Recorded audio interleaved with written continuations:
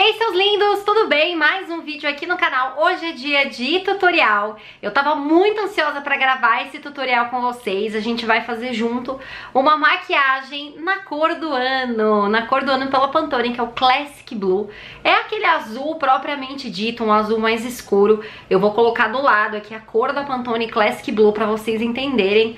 É um azul meio royal, meio marinho, mas é aquele azul puro, né? O azul clássico, Classic Blue. E a gente vai fazer junto uma maquiagem nesses tons. Será que vai ficar bom? Continua assistindo que você vai descobrir.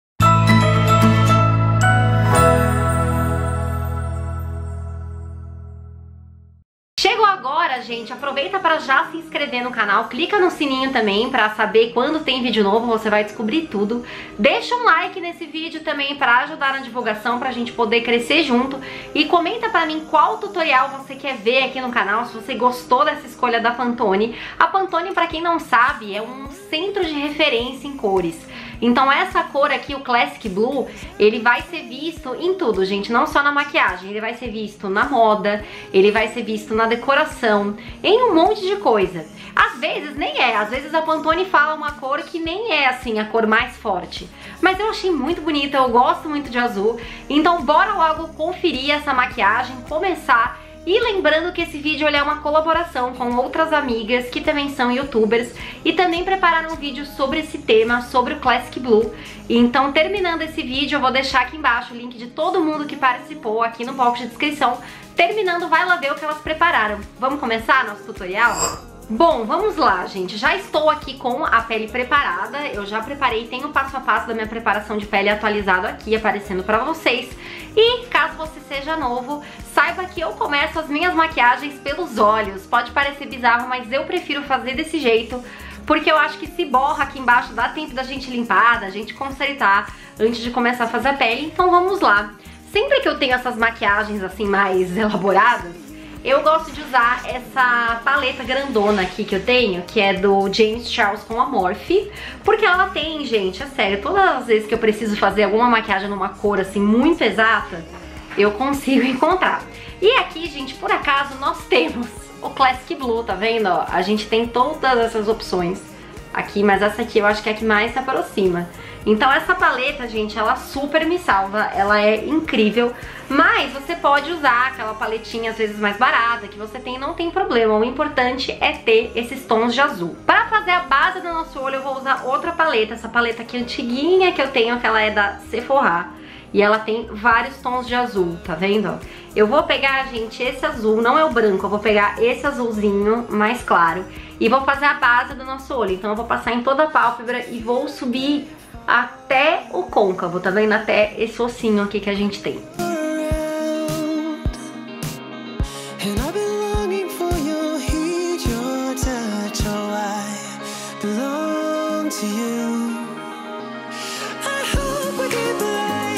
Que só essa cor aqui da, da Sephora, eu gosto muito dessa paleta, nossa, mas ela é tão antiga mas eu acho que ela pigmenta super bem.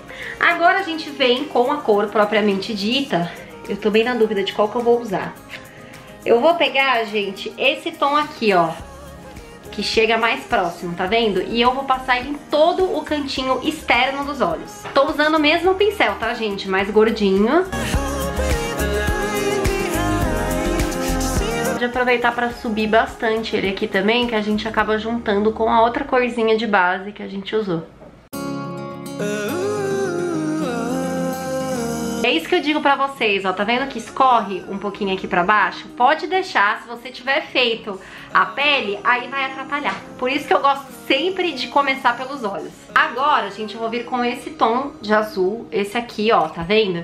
E vou trazendo essa sombra pro cantinho interno dos olhos, mas não vou passar no cantinho. No cantinho a gente tem um outro produto pra passar. E agora eu troquei o pincel, tá, gente? Peguei outro, porque como são cores bem diferentes, eu quero deixar esse contraste bem marcante. Tá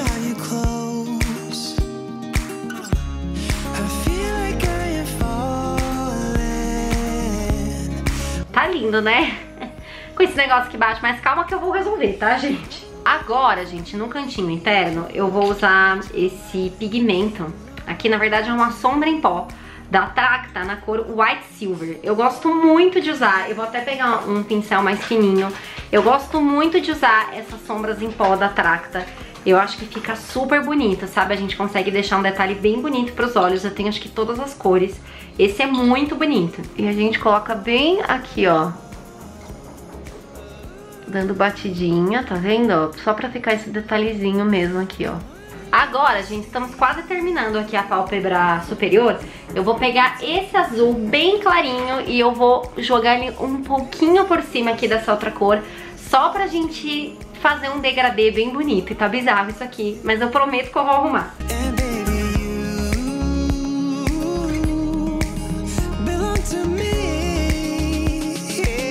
Pronto, gente, vou arrumar, peguei aqui meu algodão, minha água micelar e eu vou dar um jeito aqui nessa parte de baixo.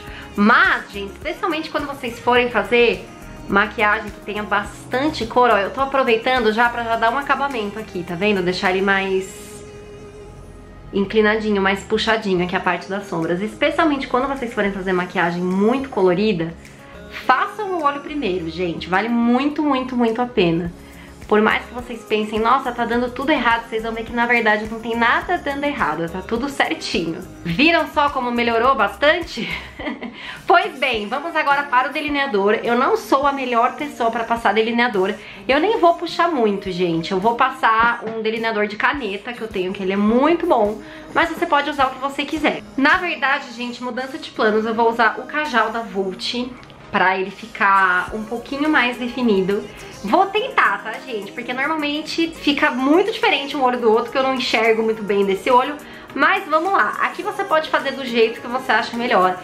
Eu acho que tem que ser, se você tem o olho gordinho como o meu, faz ele menorzinho, sabe? Não puxa muito pra gente deixar evidente aqui as cores, que é o mais importante dessa maquiagem é aparecer o azul.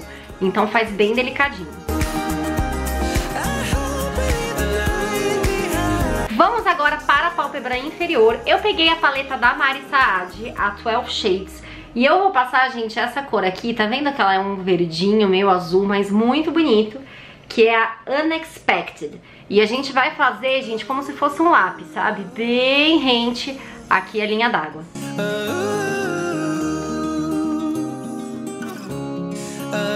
E aí por baixo, pra gente fechar, eu vou passar esse lápis aqui da Essence, que é o Long Lasting. Ele é bem na, na cor, no Classic Blue. E, mas a cor exata dele é a número 9. E a gente pode passar aqui também bem rente, ó.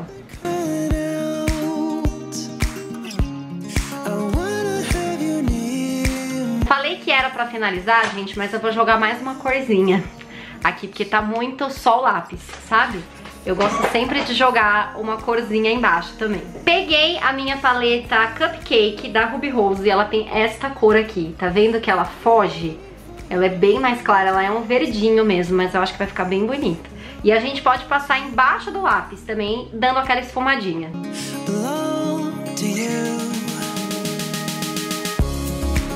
Vamos agora para os cílios, gente. Eu não poderia passar nada nos cílios, porque eu tô com uma alergia nos meus cílios e teoricamente eu não deveria passar nada pra poder tratar essa alergia. Temos que trabalhar, temos que gravar maquiagens, tem muito boleto chegando em casa. Então vamos lá, gente. Eu tô sem cílio postiço, eu não tava usando, então eu vou passar máscara mesmo. Mas se você quiser colocar cílio postiço, eu acho que fica lindo nessa maquiagem. Para os cílios eu vou usar essa máscara que é a Bad Girl Lash da Benefit. Eu gosto dela que ela é pequenininha, eu acho ótimo para levar na bolsa. Ela tem um pincel bem grossinho, então a gente consegue dar bastante volume.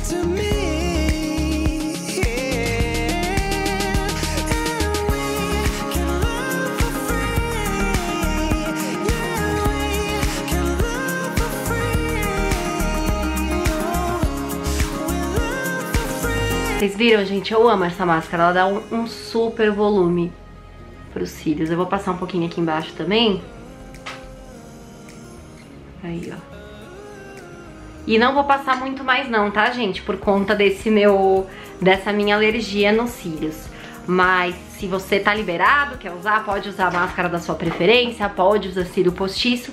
E agora a gente vai pra pele, gente. Primeiro passo da pele é a base. De base, hoje eu vou usar a Ultra HD da Makeup Forever. Eu tô apaixonada por essa base. Todo mundo me dizia que ela era incrível e eu não dava muita bola. Mas ela é mara, ela é incrível. Óbvio que você pode usar uma baratinha também. Eu acho que aquela da Boca Rosa funciona muito bem aqui pra essa maquiagem, porque o ideal é a gente deixar uma pele bem bonita, usar uma base que tem uma cobertura mais alta pra combinar com esse olhão, né? Então bora lá. Ah, e a minha cor, gente, da base é a Y225.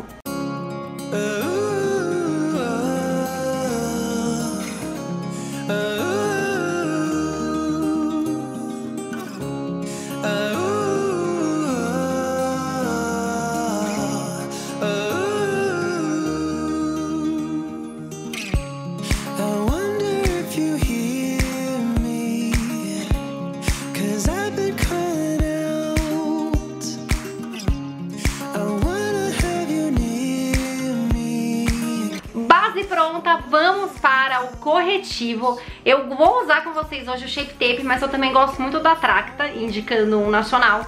O corretivo aqui pra essa maquiagem, ele tem que cobrir bem, assim, se você tiver olheiras, cobre bem, porque é pra gente deixar, como eu falei, o destaque pros olhos. A pele vai ser toda muito natural, deixando mesmo destaque pros olhos, então vamos lá.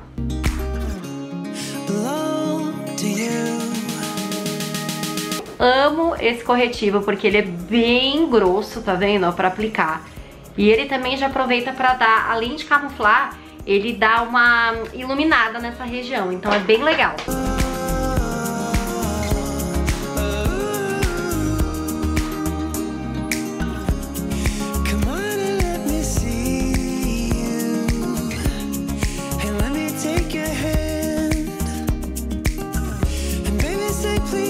Olha, gente, como já dá outra cara aqui pra maquiagem, só com a base e com o corretivo. É outra coisa, né? Nossa, sensacional. Já tô amando. Agora, gente, vamos passar um contorno nessa maquiagem. Eu vou usar meu contorninho da Vult, que eu gosto bastante dele. Eu acho mais fácil fazer o contorno em stick, que você já coloca, mas se você quiser fazer com bronzer também dá certo. Lembrando, gente, eu gosto sempre de avisar que contorno, ele é muito pessoal, cada pessoa vai ter o seu contorno, vai ter os pontos do rosto que ela gosta, né, de afinar, de contornar. Então eu sempre gosto de fazer aqui e no nariz, mas isso é muito particular, tá, gente? Então se você faz o contorno diferente, se outra blogueira que você gosta de acompanhar faz o contorno diferente também, tá tudo bem, tá tudo certo, todos eles estão certos. Vamos lá aprender. whenever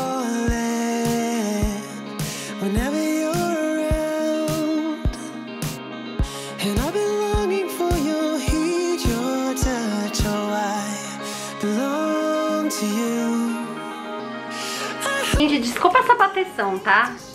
Tá, toda vez agora que eu vou gravar é barulho de obra, é bateção, mas a gente vai mesmo assim. Pro pó, gente, eu vou usar esse pozinho aqui da Oceane. Vocês podem ver que eu uso muito, né? eu uso demais esse pozinho, é o Retouch My Glam. Eu acho ele ótimo e a gente pode passar no rosto inteiro. Aproveitar que a gente tá no verão, que a gente precisa que essa maquiagem dure bastante, especialmente se a sua pele for mista, oleosa, capricha no pó, que a gente vai fazer essa maquiagem ficar linda o dia inteiro. Eu, gente, vou usar um pouquinho de bronzer. Esse bronzer aqui, que é o Sun Hit do Boticário, eu tô apaixonada. Olha que lindo que ele é. Ele é muito lindo. E eu vou dar uma bronzeadinha no meu rosto, mas assim, gente, bem de leve, tá? Eu vou só passar um pouquinho aqui. Vamos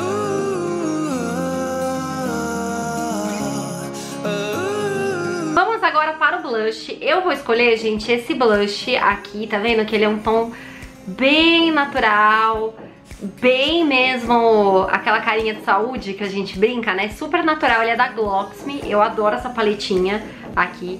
E a gente pode passar mesmo, vai ser tudo bem clarinho a partir de agora pra gente deixar o destaque pra cá. E a gente pode passar aqui embaixo na maçã do rosto, sempre com muito cuidado pra não ficar aquela chinelada na cara e roubar a atenção aqui dos olhos.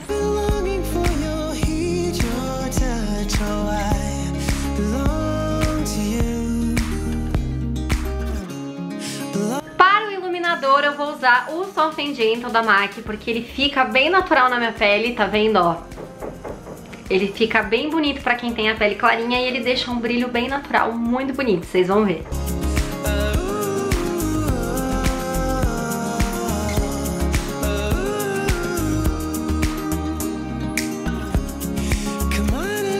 Ai, gente, tô apaixonada por essa maquiagem. Eu não tinha feito teste, eu não peguei muita inspiração, eu não sabia muito pra onde ir, tô tão feliz com o resultado. E pra gente fechar essa maquiagem, eu vou passar o batom. Eu escolhi o Velvet Ted da MAC, que é um nude bem famoso. Eu escolhi esse, não é porque é da MAC, é pelo fato dele ser um nude mate. Eu vou passar um batom bem mate mesmo. E depois eu vou até passar, assim, só um pouquinho de gloss. Mas a gente não pode deixar muito cremoso e dar muito destaque pra boca. Então foi só por esse motivo que eu escolhi. Mas você pode escolher o seu batom nude preferido, desde que ele tenha esse acabamento mais mate.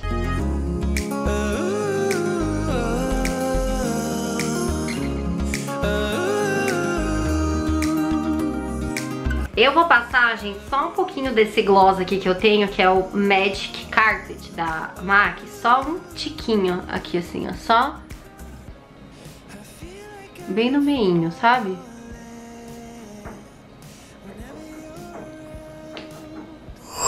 E tá pronta, gente! Essa foi a minha maquiagem, o meu tutorial de maquiagem nos tons de Classic Blue, que é a cor de 2020. Quero saber o que, que você achou comenta pra mim aqui embaixo. Não esquece também de se inscrever no canal, deixar seu like. Vai lá no canal das meninas agora pra ver o que, que elas prepararam pra essa nossa collab.